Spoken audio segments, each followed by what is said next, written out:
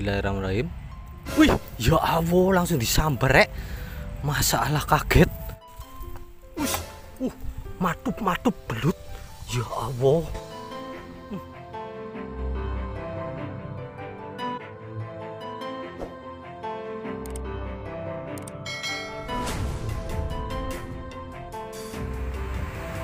Ya pemirsa, Assalamualaikum warahmatullahi wabarakatuh. Selamat pagi menjelang siang. Jumpa lagi dengan saya ya. Cabus Ngapak di Ngurah Belut saja. Oke next petualangan mancing belut. Cabus Ngapak kali ini tersaji di spot sungai ya pemirsa. Nah ini spot sungai di kota Surabaya. Dan kondisinya agak banjir Tapi tidak banjir ya. Sebenarnya yang paling bagus adalah kondisinya saat banjir atau permukaan pinggir tanggul datar dengan apa? Sungainya air sungainya. Oke kita menuju sarang belut. Mudah-mudahan di petualangan pagi menjelang siang ini saya dapat tarikan belut monster ya pemirsa. Oke. Nah ini dia spotnya. Saya spill dulu Oke kita lanjut cari lubang ya. Nah untuk mencari lubangnya kita cukup menyisiri pinggiran sungai ya pemirsa. Kita membuka-buka rumput seperti di depan saya Untuk mencari lubangnya. Nah untuk ukuran Waduh Kalau rezeki bagus bisa dapat belut monster ya pemirsa. Mungkin karena minimnya pemancing di sini dan melihat kondisi sungai seperti ini ya Jadi para pemancing yang masih pemula mungkin ya enggan mancing di tempat seperti ini. Kalau untuk pemancing pro wah saya yakin bahagia banget dijak mancing ke sini. Oke nah di bawah sini saya mendapatkan lubang ya pemirsa. Ah lihat wih. Tadi tertutup enceng gondok. Oke kita coba cek. Bismillahirrahmanirrahim. Wih ya Allah langsung disambar rek. Masalah kaget. Uh gendeng. Hmm.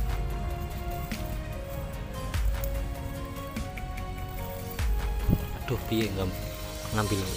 Aduh maaf ya pemirsa tertutupan ketutupan. Ish. Loh kok ngikut rek?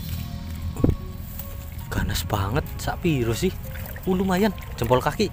Tipis tipis. Lihat pemirsa belutnya ini. Oke. Nah, ganas banget ya. Oke mantap. Ini untuk ukuran belut sungai ya layak banget dibungkus. Oke mantap ya. Sempol kaki nih. Gimana? Kita bungkus?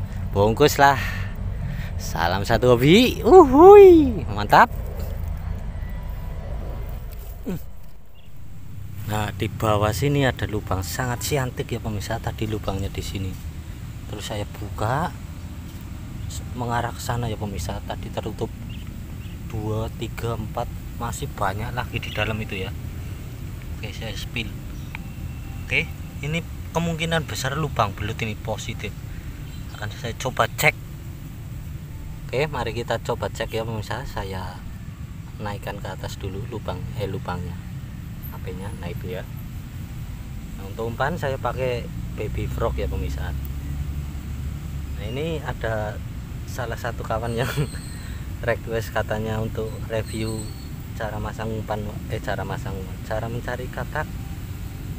Aduh kalau cari katak di desa mas di sawah.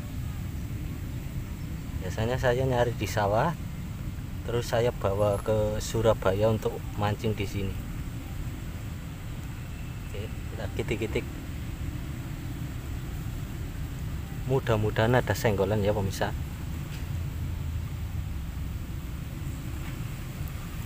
Jelut senggelut ini kering pemirsa ini asli jejak belut ya ke arah sana. Ush, uh, matup matup belut. Ya Allah. Hmm. Lih, lih, piye ki? Ih, ih. Astagfirullah lubangnya tok yang besar pemirsa. Ternyata belutnya segini. Masalah. Saya kira besar. As. Oke nggak apa-apa lah ya.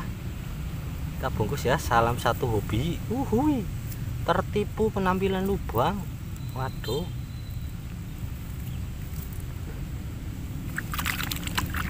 Oke pemirsa. Mohon maaf ya tertipu penampilan lubang. Waduh waduh kaget saya. Ternyata isinya segitu. Padahal jejaknya lo besar pemirsa ya. Dan makanannya juga masalah ini keong. Jumbo segini. Isinya aduh. Oke nggak apa-apa lah. Kita lanjut perburuan. Oke pemirsa di depan sana ada lubang ya pemirsa. Nah itu ya. Kelihatannya itu lubang saluran air ya dilihat dari airnya yang bergerak itu kondisi airnya yang bergerak. Oke saya peluk-peluk dulu. Kira-kira lubang belut atau bukan ini? Mudah-mudahan sih lubang belut ya. Oke kita masukkan. Kita kitik-kitik ya pemirsa. Umpannya tetap baby frog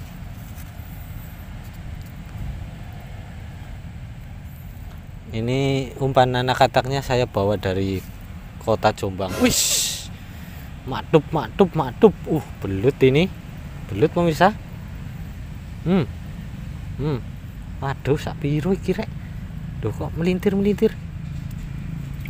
Ya Allah segini pemirsa Is jempol tangan. Hmm. nah ini isinya segini jempol tangan ya. Eh jempol tangan ini jempol tangan saya. Oke nggak apa-apa lah. Kalau ukuran sejempol tangan biasanya saya bungkus. Kalau sejari telunjuk ke bawah baru saya rilis. Oke kita bungkus ya. Salam satu hobi. Uhui nah lihat pemirsa di depan sana ada lubang keren ya. Ada dua buah keong di lubang di mulut lubang itu ya. Oke kita coba pancing ya kita coba cek. Mudah-mudahan ada senggolan. Oke kita kitik-kitik Bibi ayo mana ini belutnya senggol dong. Ayo lu oke kita kitik-kitik terus ya pemirsa ya. Ush, uh, keren santapannya oke. Ayo. Hmm. trot trot. Moncot tora apa ya ayo. Hmm. Hmm. Uh. Is. Wih. Nah kita coba lihat penampakannya. Wih. Oke lumayan pemirsa jempol kaki ini ya. Nah ini belutnya keren. Kita bungkus salam satu hobi. Uhuy. nah lihat pemirsa di bawah sana ada lubang siantik banget itu ya bunter ser. Oke kita coba cek. Uh kentut-kentut langsung. Langsung naik turun pemirsa ada respon. Mudah-mudahan sih belut ini waduh ada ulatnya di dalam itu. Oke kita masukkan ya. Tuh lo lo kentut-kentut lubangnya jumbo-jumbo.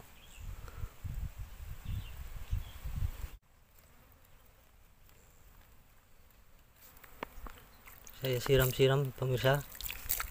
Seperti ini.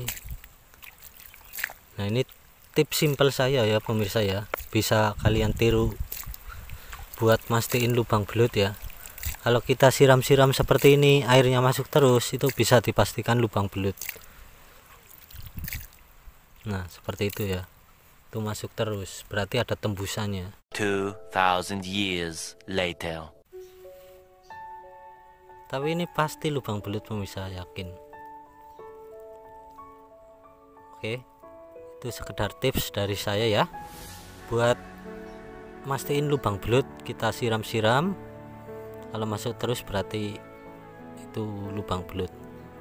Ini asli lubang belut. Nggak usah dibongkar nggak usah diowok kita biarkan seperti ini. Bisa kita pancing lain waktu ya pemirsa. Kalau debit airnya naik